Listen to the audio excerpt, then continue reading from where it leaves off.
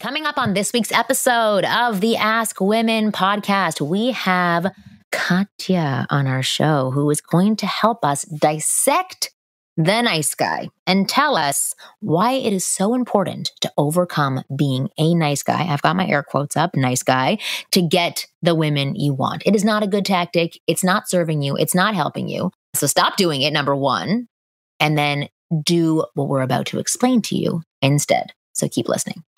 Hey,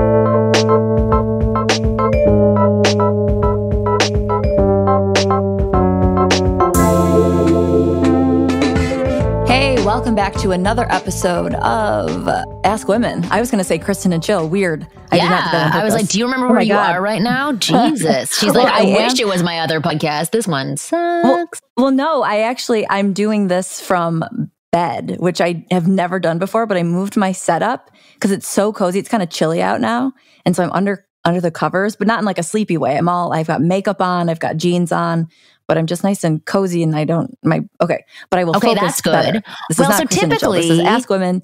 Kristen just wakes up before our podcast. And then I get I was assuming you were in right. bed all the time. I didn't realize you did us the favor and the courtesy of getting out of bed to do this cup. Okay. So then we may get great things out of you today. Well, it's kind of the opposite because normally I'm in my pajamas at my desk, but now I'm fully clothed, makeup in my bed.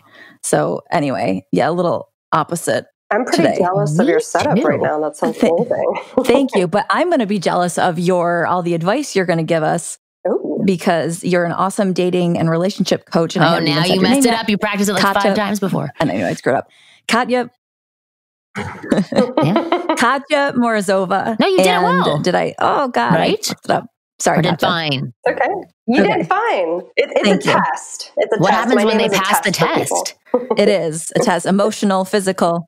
Right. Oh, what's this prize? Interesting. Lots of guys want There you go. I like it.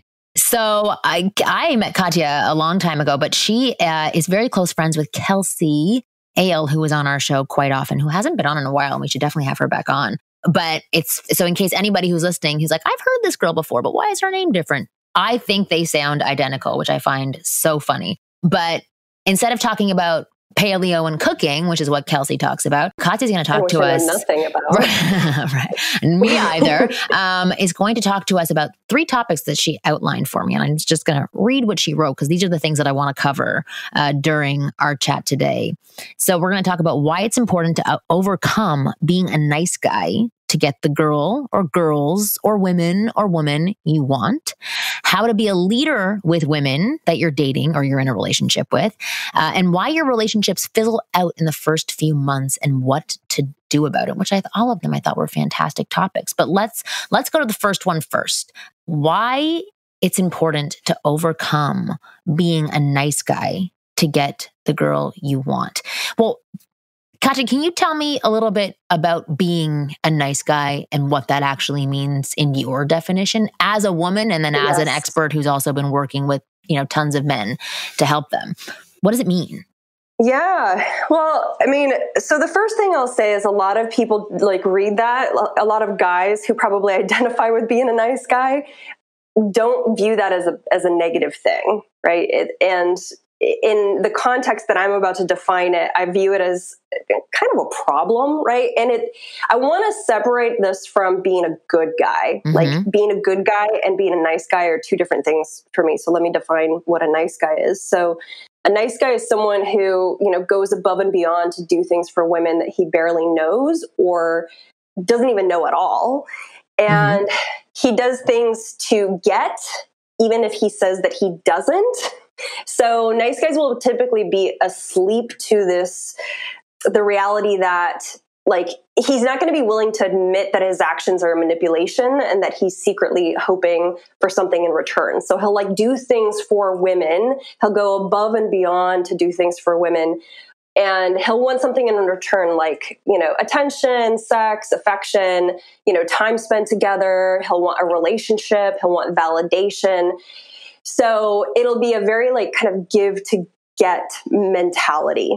Well, can I make one note that it may not even be something they're aware of, right? It, they, they, that's the thing that they're not, it's not like a manipulative t- thing. It ends up being a bit of a manipulation, but it's not actually a premeditated cruel That's thing. right. Okay, so I just want to add that in there. Okay. Yeah.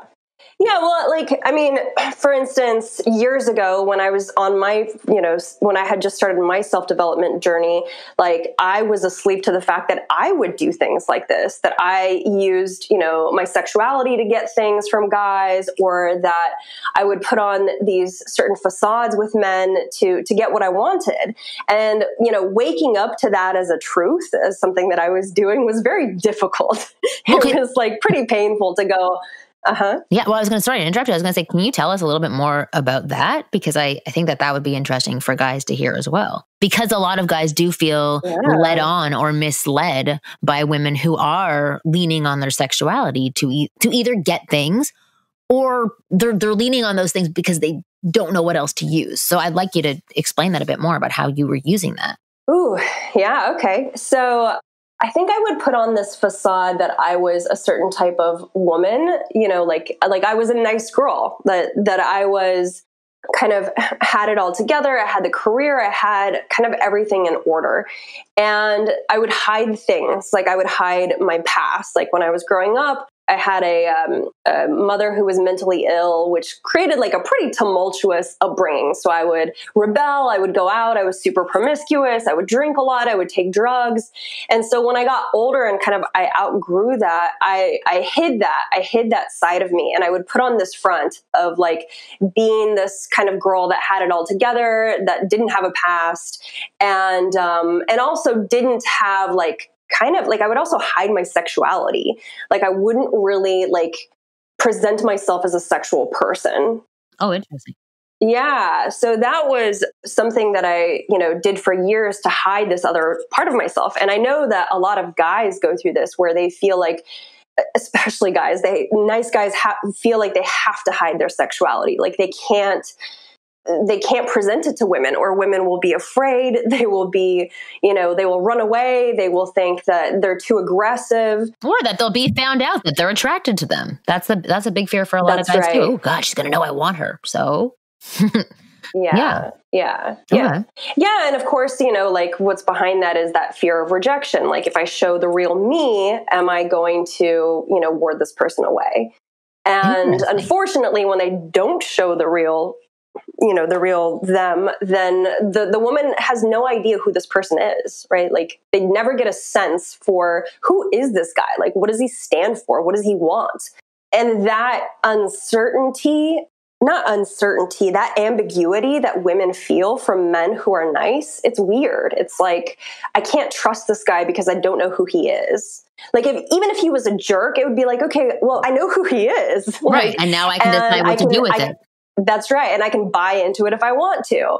But if a woman doesn't know who you are and doesn't know who you, you know, what you stand for, it's like, this is, this feels weird. This feels dangerous because everyone has needs, everyone has wants. And I don't believe that you don't have any. Right. So yeah. Yeah. Well, I wanted to, I think that's a great description uh, of a nice guy. And I'm sure many guys who are listening are like, yeah, I do tend to do some of those things. Again, I, I want to like repeat that it's not meant to be manipulative. You, at the core, you think that you're doing the right thing because it's maybe all that you know how to do or you're not comfortable doing the other things that may actually build and create attraction. Yeah. I do think there are guys out there that do do it manipulatively and intentionally. Not tons, but I'm sure there are some.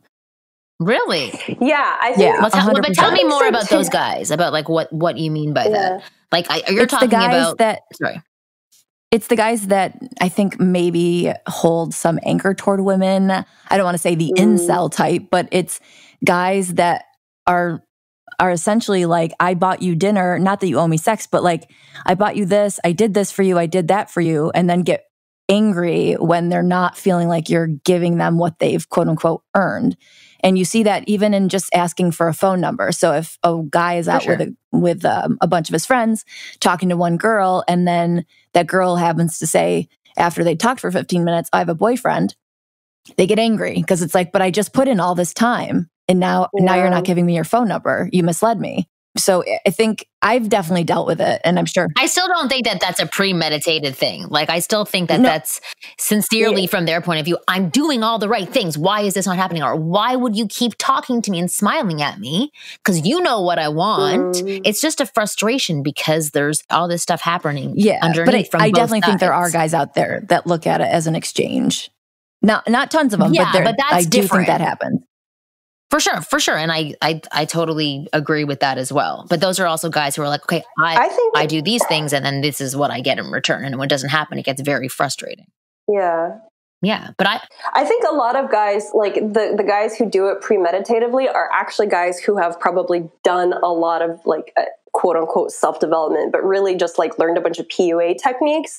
I think those guys do do it premeditatively. Like more so than just like the average guy. I think the average guy who hasn't started to like, who hasn't read a bunch of books and like really try to figure this thing out, like they're more like unconscious. They're passively doing it.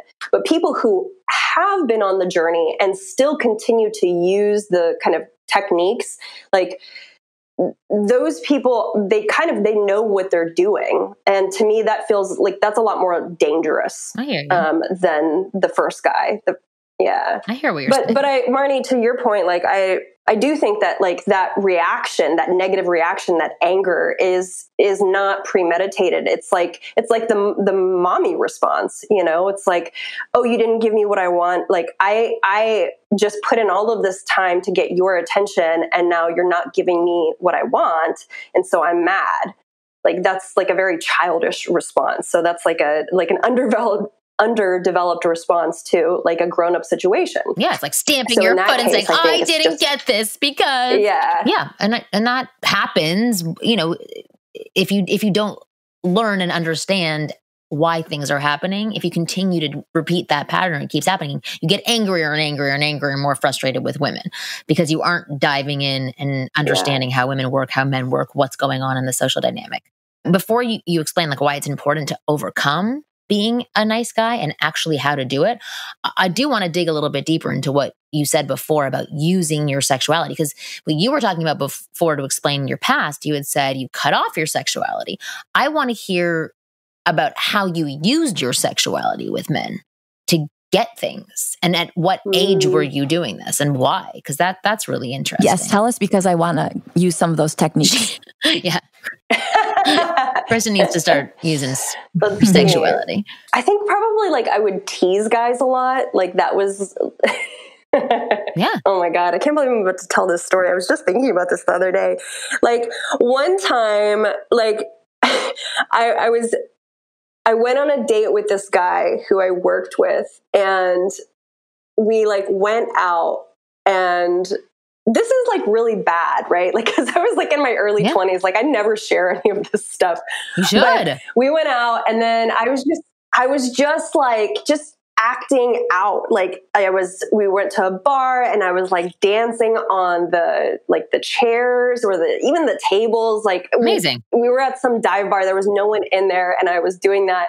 And then later he like dropped me off and i knew that nothing was going to happen Wait, so this was somebody that you were on, on, a date like, with or this is just somebody you were hanging out with well, that's the, I guess that's the thing is that, like, you know, back then maybe I would hang out with people where it was like, we don't know where this is going yet, but I, I think it was a date. I would, I would call it a date. Right. And I was, like he dropped me off and there was a cat that like kind of emerged from the darkness and was like hanging out on the uh, the sidewalk and i like got down on my knees and i was like petting this cat but i had like my ass in the air and I was clearly like just just teasing this guy in this like very overt kind of way. And I know this is like a super like overt example, but like shit like that. And then I think as I got older, like it was just it was like more and more subtle. Okay. So like the younger that I was, the more like outlandish were my shenan- shenanigans. And I also used to hang out with like a bunch of like party guys because I was a party girl.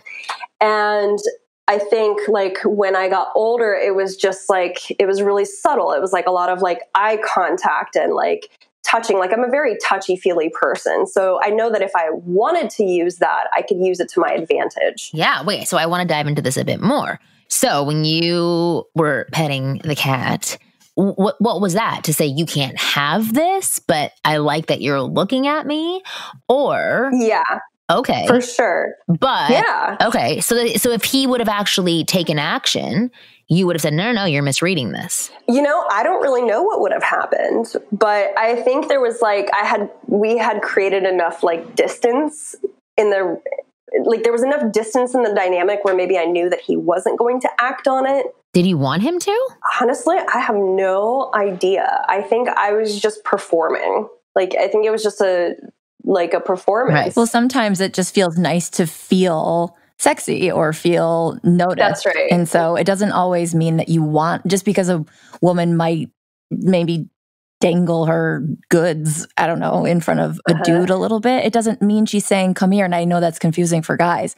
It could mean that she just is feeling herself and is wanting to feel the the sexiness of of her own being. Right. So then yeah, what so then absolutely. for that guy, what would have so if, if you're if like I know it's really hard because this long, not that long ago, but it's it's a while back and you were saying you don't actually know what you were thinking at that time, whether you were attracted to him or not.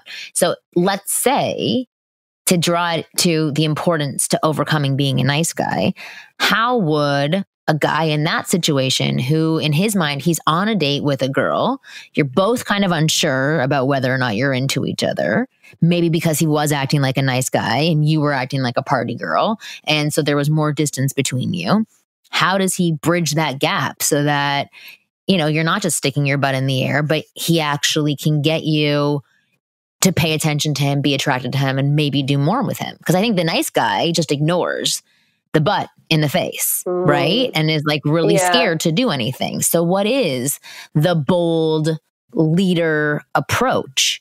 Where it's not like that's a really yeah, where you're question. not like, wait a second, I put my butt in everybody's face. How are you reading this as I want you? So yeah, I'm just yeah. petting my cat. Yeah, that's a really that's a really really great question. Immediately, what came to mind was like calling me out you know like if if i'm doing this whole like performance mm-hmm. thing like i would if a guy had called me out i would have not known what to say and i would have had a lot of respect for me him too. like had he done it yeah like what are you doing like i know what you're doing you know or just like i think that would have brought awareness to it so the reason I say calling out is because I have another example of when like I was hiding like my past and my sexuality and um, a man who turned into my my my boyfriend did call me out for doing that. Like he he was asking me questions and he was kind of probing and like really trying to get to know me. And i was not like really interested in sharing. Like i was getting really embarrassed and i was kind of shutting down. And so I remember him saying, you know, hey, like, I'm not going to judge you for anything that you've done. You know, like, I'm not going to, um, like he gave me permission. So that was that would be like an example of being you know being a leader being someone who like sees something about you see, sees something about me and goes hey like maybe this is something for you to look at. Like this this behavior this thing that you're doing just it feels it doesn't feel authentic. It doesn't feel true so that would be an example of like when a guy did do that for me, which like I still obviously I still remember mm-hmm. that. Like that shifted something for me. I was like, "Oh, I don't have to hide this thing. I don't have to, you know, pretend." And and yeah and we ended up being in a relationship and he he taught me a lot. He taught me a lot about myself. He like he kind of pushed my edges and and pushed my boundaries but like in a really healthy way. Like he made me look at my shit.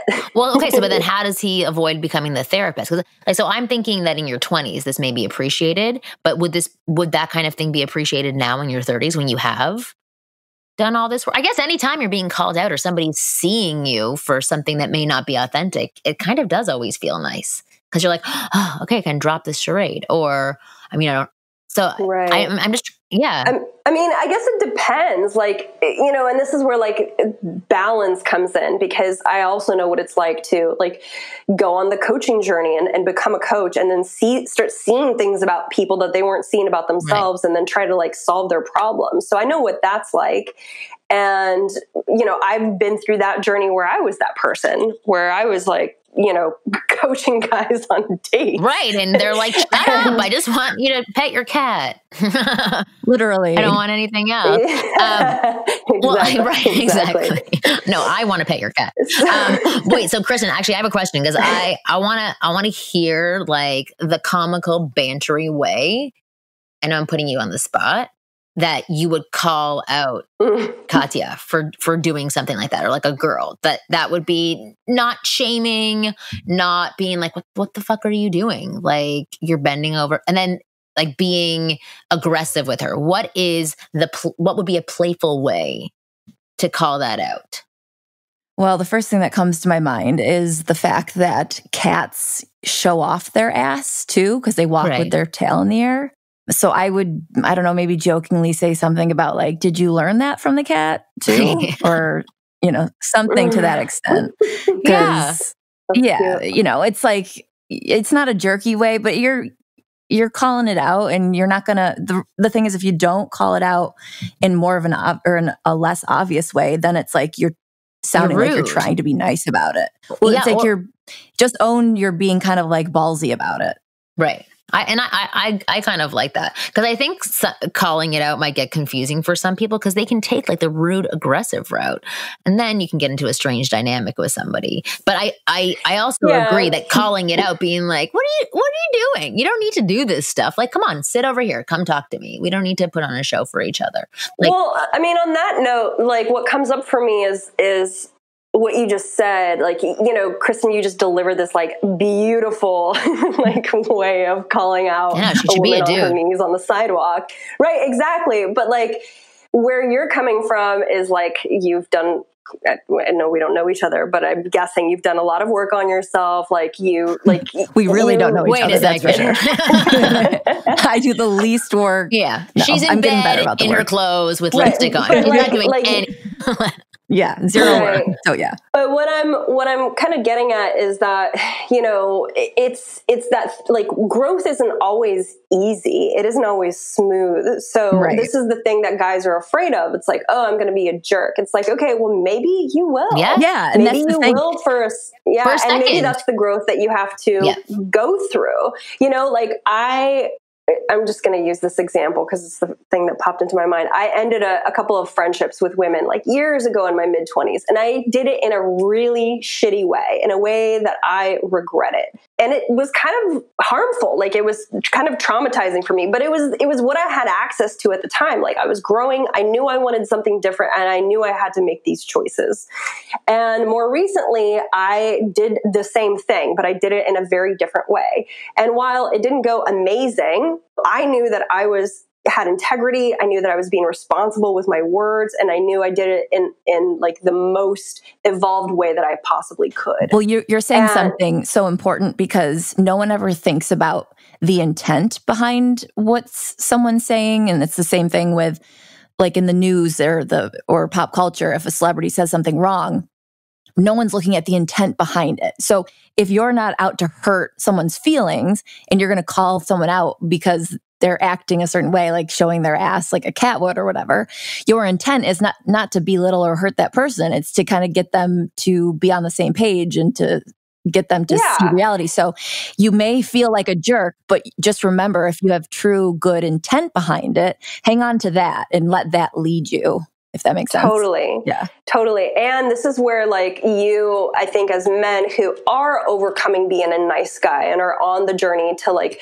really knowing themselves, owning their value, and being leaders with in their life and with women, you know, that they have to separate for a while like they have to separate a woman's response from their action like the action that they need to take. So if something might be right for them might be true for them it might have an impact on that other person and that doesn't mean that that's a bad thing right? Like we all have to go through situations that are trying. We all have to you know move through conversations and relationships where people respond in a negative way because of something we said or did. Like we we can't live in this bubble of like constantly trying to avoid how someone is going to react. Yeah. we're going to stuff our own growth. We're going to i can't think of this word. We're going Stunt to it? Is that stunt. Thank you. We're going to stunt our stuff own our growth, growth. if we're constantly we're gonna stuff it right up that cat's ass.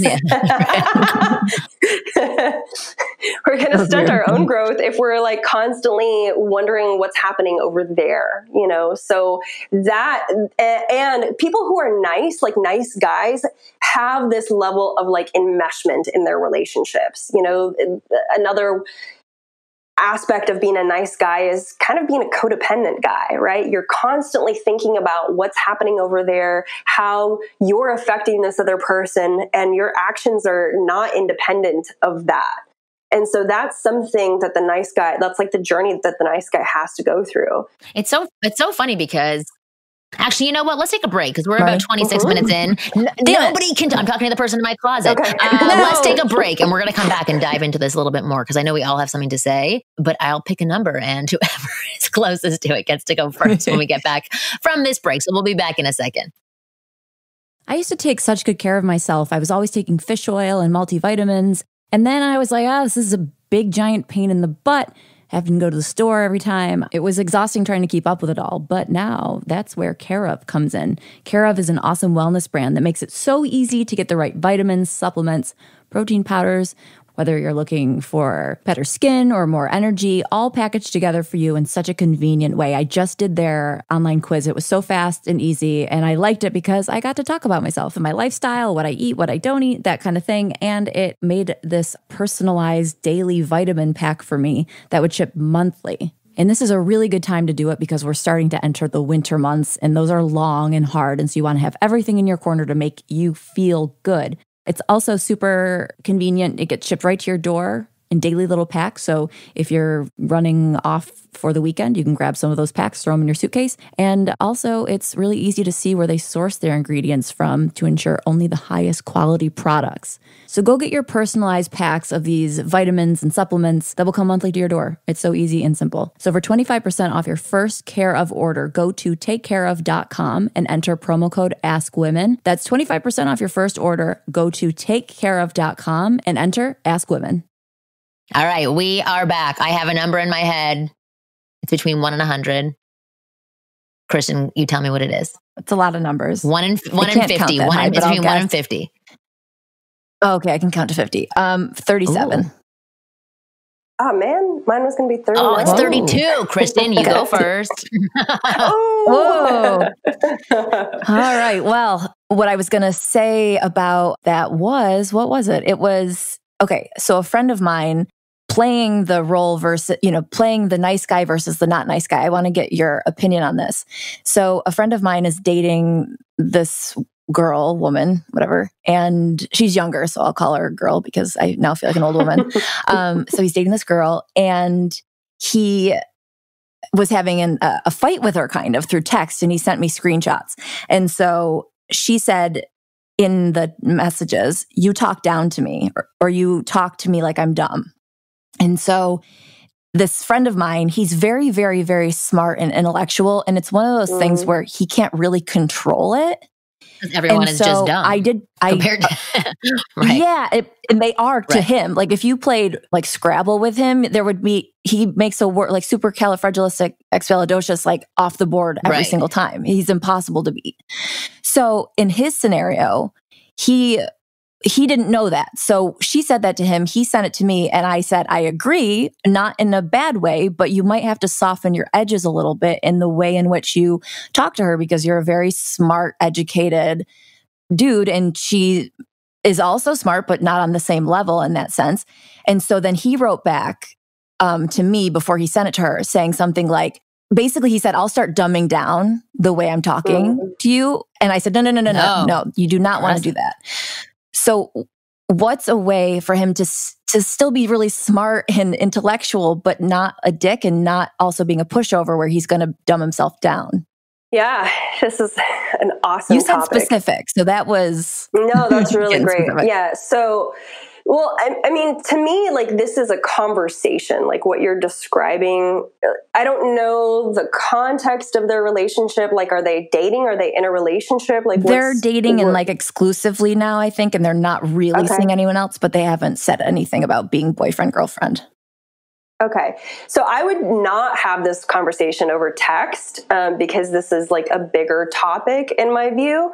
In fact, I would say never yeah. have arguments over text well, ever. Especially Don't ever spelling broach. skills in text. Everything's spelled right. It's like you're gonna. Oh, I'm just kidding. yeah. So I would move this away from text and I would have like an actual conversation. And for him, you know, like be an example of a leader in this relationship by doing so. You know, it sounds like she is feeling insecure around him. So I would get really curious about that. And sorry, what was her what was her text again? What did she say It was him? essentially saying something like you, you you talk down to me or make me feel like I'm wrong, like everything that I say is wrong or not mm, not smart yeah. enough, something to that extent. I'm actually going to look for it while you're talking. Yeah, so I would first say, "Hey, you know, I hear what you're saying. I'm I would sorry acknowledge you feel that way. That's just her point of view and say, "Hey, yeah, I'm sorry that you that that's going on for you and that I'm making you feel this." I would just own it and be like, "I'm sorry, I'm making you feel that way." and not try to argue and then just say hey um, i think this would be a better conversation to have maybe in person or over the phone do you mind if we do that and then in the conversation i would just hear her out like can you give me a specific example like you know is this something specific that i said or did because whenever like in conflict you don't want to do this whole like yeah. big amorphous blob conflict you want to do like laser in on, hey, let's tackle one issue. So, what did I say or do that made you feel this way? And then from there, list again, hear her out. What does she have to say? Like, probably he didn't intend to sound that way. He probably didn't want to like be- belittle her right? So he can hear her out and then say, "I got what you said. Thanks for sharing. This is that's that wasn't my intention." Well, at first he think I think he should ask for her IQ score or for her IQ, and right, then go exactly. from there. Like I'm just talking. So, yeah, that that would be the best way to ruin a relationship. Um, no, I just I, I, what I basically said to him was to not let her know that he's adjusting his speech because he was going to straight out say, "Okay, well, I'll start talking more at like this level. And I said, no, don't absolutely do not say that. Just start doing it. And so yeah. there might not be this harsh transition of like, you know, not look at me. Yeah, I'm on your like level. that's him. That's him being reactive, right? Like she said what she said. Just right. like hear her out, you know. But that's right. also him fumbling through the dark, right? Because it's he because he doesn't know that's what's right. actually triggering her, triggering her, why it's triggering her, and he may not be aware of how what he's saying comes across to pe- other people. And so, like, to bring this back to the nice guy conversation, the difference between being a good guy and a nice guy, a good guy, in my opinion, would would say, you know what? I actually really like how I talk to people. Like this is what you say in your mind. I like how I talk to you. I'm proud of it. But I want to hear what other people have to say because if I, I am affecting somebody that way, I'd want to hear about it and maybe I can make some changes. A nice guy would either get really frustrated or on the flip side, he would kind of do what Kristen was saying. He would yes, start adjusting. For sure. Right? Out of panic and and and unclearness because he doesn't want that confrontation or he wants to please that girl and not upset her. And then he would probably piss her off more because he wasn't really addressing and talking to her, which is what it sounds like she needs in that moment is for him to see her right. for one second. And, and um, but on his like yeah, so I was gonna say, like, my husband says that all the time. I, am I'm, I'm doing all the things I'm supposed. I think I'm supposed to be doing. I'm like, but you never asked me. like, yes, you're doing things that maybe you think are right, but it's it's not resonating for me. And that you know that that's a big that was a big deal for him to to hear that statement because that was very frustrating for him as well. And my husband is a good man, but there are certain times when he does attempt to be, and I'm putting air quotes, nice to do something to like not step on a landmine and then it, it becomes inauthentic and false and everything we talked about at the beginning of the show which is why you have said it's really important for guys not to do i hate that it's called being nice because being nice isn't a bad thing it's not it's it's it's it's I don't know another well, term for it. Like without saying it's being like, a wimp or a pussy or like yeah. it's bending over backwards for somebody without knowing why you're doing it. Right. Right. Yeah, which is just like a survival strategy. So, I mean, I think the the one thing I want to say here is that like It's not bad to be nice. It's but just notice that it's a it's a it's like a survival strategy. It's been around for a really long time. You know, like I we we picked it up during our childhood, right? Like it was something that we had to do to get by. But now as adults, it doesn't really work anymore. You know, it doesn't it's an out. I don't know if it worked as, as a child either.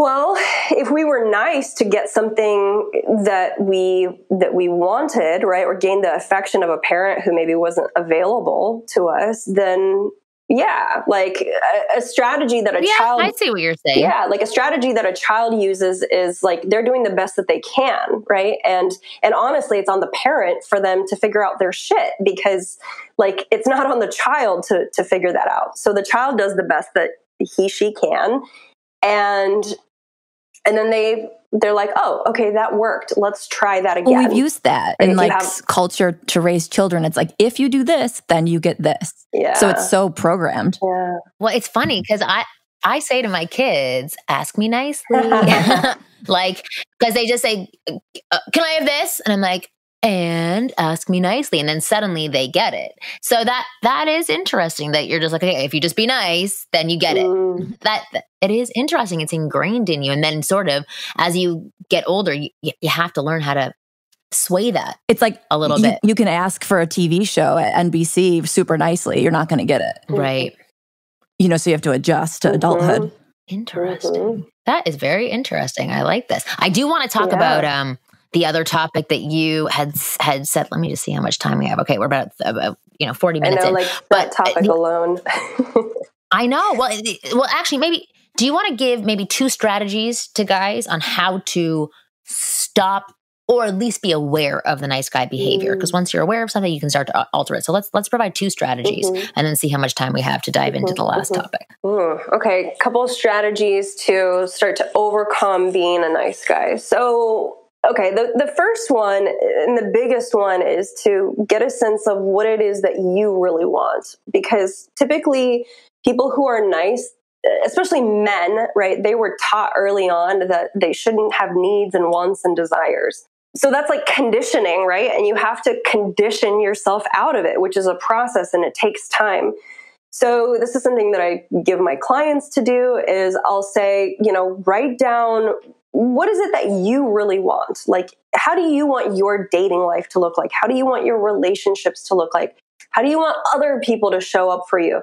So, like, you know, women to show up for you. So I asked them to, you know, kind of take the laser off of the other, which guys typically do. How do I make her want me? How do I make her like me? How do I make her, her, her? Like, it's all about her. So if you could just set that aside for just a moment and think about what it is that you want. You know, how do you want a date to go? Like, do you want to touch women on a first date? Like, do you want to make physical contact with another human? Great. Like, describe that. Like, what would it be like for you to express um, a need or a want or desire. Like, you know, I really want to go, something very simple is like, I want to go to this restaurant. Guys are always like, how can I create this great experience for her? And it's like, okay, well, what about what you want? Maybe you like improv comedy. Maybe that's something that you want to do. So, so write down like maybe a list of five to 10 places that you want to go on a first date that you can kind of pitch to, you know, to a potential, yeah, a potential date. So that would be the first thing is getting in touch with your own needs, wants, and desires and actually writing them down and trying to get specific as possible. Yeah. And then the second thing would be yeah, just oh gosh, I'm about to like name some high level shit that I don't know if is going to be super helpful, but I'm like I'm like really connect with the emotion of shame. like Oh my god, I love shame. Yeah. No, like, like that's in my bio on my Instagram and my Twitter is how much I love shame and connecting with shame I oh think is god. so helpful. Yeah. So like where where has it been? So shame is is a, is what drive will will basically shut us down from wanting anything. It's like, I want this. I feel shame. I can't want this, right? Like, so connecting with shame, like, where do you shy away from asking for what you want like where where does shame start to come up where like where do you feel like you would be inappropriate Right. Like a lot of guys shy away from the sexuality piece, especially, right? Nice guys really struggle with this. Like, so where is reaching out and touching someone, asking for a kiss, right? Like talking about something sexual. Like, what are your opinions about that? Just starting to dig into, like, well, we don't talk about these things because, you know, a woman's going to think that I'm just like a sleaze or I'm just out for sex. Like, start to notice the beliefs that you have around topics that you shy away from. So, I think that would be my second suggestion.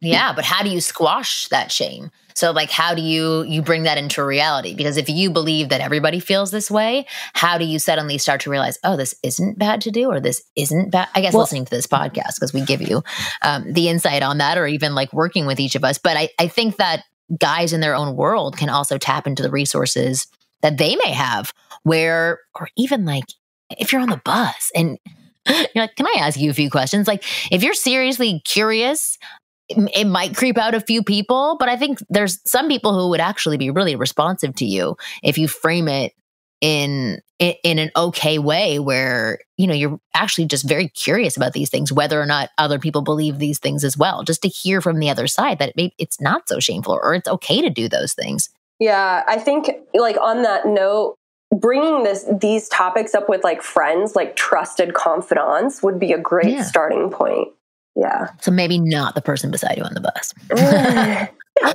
well, well, it's almost uh, good to do it to the person on the bus because then yeah. you don't ever have to see that person again right. unless exactly. you take the bus all the time. Right. Um, in that case, you'll have to buy a car. Right. But with shame, for me, the way I use it is I try to use it in a in a way to create character and personality but not to but not to have enough to hold you back. So mm. if you have shame about something, think about if it would shame some if someone else would feel shame. If you saw someone doing that same behavior, say talking to someone on the bus, would you feel shame for that person? If not, then you can do it. But if that person mm, starts taking good. off their pants, if they start taking taking off their pants, then you might feel shame for them. Then you wouldn't want to do it. Does, I almost use it as like an outsider view. Oh, I like, like that. if yeah. I were looking at someone, I, like I wouldn't. That. That's great. Yeah, Okay. I like that. Like writing down 10 things of yours and then even just, you know, mentally picturing those things, saying, like, would I judge somebody for doing this? Have I seen people doing that? Does it? I love that. I think that's really good because it, it lets you practice these things sort of in a safe space and also check in with yourself. Kristen, we did this episode a while ago. You, you actually weren't on it, but I was talking to my God, what is his name? I think it was Chris. I feel so horrible. I forget what his name was, but uh, he was a social data analysis. Analysis. analyst analyst yes that would make sense okay so that's what so he basically studied human interaction i thought that was absolutely amazing mm. and he had all these tools for like getting over approach anxiety and just calming anxiety in general and getting over fears and so you know one of the things one of the tools that he had said it was um episode like 296 i don't know it was a really great episode obviously because Kristen was not there. It was unbelievable. Right. That's what um, made it great. Uh, but he, he was basically talking about something very similar where you like float up and you, you talk to yourself in third person. You know, yeah. so like you, you're looking at yourself yes. doing these things. It's, it's oh my God, it was, was actually a really cool tool. I was just saying that. Uh, I have learned this new thing that I've been doing, not learned it, but I started doing this new thing, which sounds kind of creepy, but it's really helpful. Um, I, I like hearing stories, just for a little background. I like hearing stories about people who say they've had a near death experience. Mm. I know it sounds weird, but no, they a, not at all. A lot of it's so fascinating, and you know, it's creates you know the curiosity or the answers maybe some questions you have or whatever about yeah. the afterlife. But what a lot of the people say is that they flow outside of their body and they're on the ceiling. Mm. And really? so they see themselves, say, on the operating table or in this car accident or wherever from way above. And it, in, because people have said several times on the ceiling, I've now pictured myself. It's creepy, but I feel like I see myself in the corner up in the ceiling, looking down on myself in bed. And I look at myself as my soul up in the corner, judging this person here on the bed or Mhm. whatever activity I'm doing, Mm. which is again most likely in bed, but not a fun one. And you start being so much nicer to yourself because yeah. You have such a different perspective. yeah. Yeah. That's actually really cool. That's Yeah. funny because a lot of the people that I know who've done ayahuasca, that's what they say as well, where they're floating above their body or they're floating above their world. And they they Right. can they can see it kind of like um ghosts from a Christmas carol Yeah. sort of thing. So yeah, Right. that's interesting. I wonder if the same part of the brain is triggered if you have that type of experience when you go into like a fear place. Maybe that's what happens for people. Yeah. Or for the God angle, like maybe your spirit just floats out of your body and just has a chance to say, do I want to leave or do I want to stay? Right. And when you're looking at it from that angle where you're above, the things below don't seem They're as not as heavy. important or as intense. Right. yeah. So that's awesome. Yeah. I love that. Well, this, that's also like what you're describing too, though. Uh, you know, as like a, another kind of strategy to even gain access to what you're talking about is something that I always give my clients is advise them to learn how to meditate. And so, like what you're describing is something that we do have access to, right? It's like you know there's the the observer like we we have access to the the observer that part of us that's like you know like there's a part of us that's taking the action that's thinking you know thinking the thoughts Yeah. and then there's the part of us that's watching us thinking the thoughts and so meditation like all my clients take on meditation. I like i'm an uh, evangelist for meditation but it's it's that thing that starts to give you that gap between here's this impulsive action, this kind of survival strategy that I'm constantly taking, and then almost like a piece of gum, like you're like,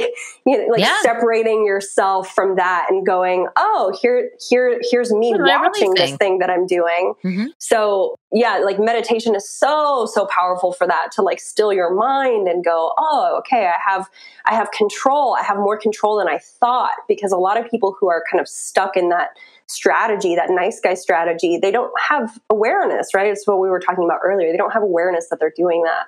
Yeah, but they actually have full control. And we actually had Dave Asprey on our show. It was it was interesting the episode that we we did with him because I think I was so locked into my definition of biohacking that I kept I wasn't really clear on where he was going. But at the very end, he like succinctly wrapped it all up where he was basically saying like you have control over your environment and you can hack it however you want. Like, and I thought that was a very cool thing to say. One thing I I, I do want to add on to the what you just brought up about about meditation, and then we're gonna wrap up the show. So I, I'll be honest. When people say meditation to me, like literally, I just I shut down because I'm like, I've tried it. I've tried to stay quiet. It doesn't work. Blah blah. So I went to um, a summer camp for adults recently and had Aw, first of all the best time ever. It was awesome. awesome. Um, but separate from that, there was just amazing people that were there. So I ended up, I was making bracelets because that's what you do at summer camp. We were like doing arts and crafts. And I was sitting beside this guy and we started talking. And I was like, you know what? I feel like really zoned out doing this right now. It's nice. I'm having a conversation, but I'm really relaxed. I can feel my nervous system actually like settling down. And he goes, he goes, yeah. He's like, this is a form of meditation for you. And I was like, I didn't, it's, it's interesting because I always pictured meditation you know, your legs crossed, doing yoga, complete silence. And that's why it would always frustrate me when people would say, you know, that's I feel great because I meditate. And I'm like, I can't do that. So he started talking to me um, and saying, the funny thing is, my in my former life, my job was to help people find their form of meditation because people meditate in all different ways.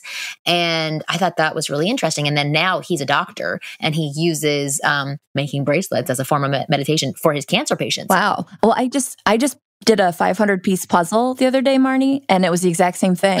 it was the best. I love yes, that. and I've never done a full puzzle before. And so it was like Oh, I just together escaped, when you get went back. to another place. I was with my grandma. We did it together, but when we had a little I conversation, but really not, and it flew by. It was like five hours, and all of a sudden, it, we were done. I you felt had this puzzle. I felt so great because I just relaxed and zoned out. like a cat on a telephone. That's what it was at the end. yeah, right? yeah, on a lace doily. like that's what it ends up being. Yeah. That is, but that, but I just want like to, to add on to what you were saying, Katya, because I think that some people close their ears as soon as you hear meditation. And I just want, Totally. I, I want to reiterate that there's so many different ways. So the ways that he was saying, he's like, some people meditate through dance, some people will meditate through exercise, some people meditate through It's walking, just getting some into people meditate zone. through eating. Yeah, just getting into fishing. that zone where everything for through fishing. So like, like it's it's yeah. about finding those spaces for you where things can be quiet and you can focus. It sounds like you, you can focus on something else to actually focus on you. So yeah. it's not like you're living in your head. And that's where I wanted to end the show. I know we, we were going to talk about uh, relationships fizzling out. Can I just share one more thing? Yes, I, please, please, please. Okay, I just I just want to share this final thought that um, about the the shame piece. Yeah. So I started thinking about earlier, just just in this conversation when I thought the thought, oh, there's this story that immediately popped into my mind about you know, getting down on my knees on the sidewalk, sticking my ass in the air. Immediately I felt shame. Like really? I was like, oh my God, like, yeah, oh, absolutely. Like, oh wow, here's that that thing that I've thought about sharing like and i don't want to share that i don't want people to hear about you know this this part of of my life and then there was like immediately after that was like well there's this commitment that i have to to being honest to being transparent to being authentic you know? Yeah. and that's a commitment that i have in my in my own life. So kind of going back to the the the two tips like the strategy for dealing with with shame is you know start to notice where you hold yourself back like where do you not share the things that you really want to that you most mm-hmm. want to share but but katya the most interesting part is that that's what made you to me very endearing i was just going to say the same share thing. the side of you that yeah. So those weaknesses or those things that people would consider yes. shameful might be what connects you to that person. It's so funny because you, okay, again, you and Kelsey are very similar. Kelsey is very well put together. She chooses her words very carefully.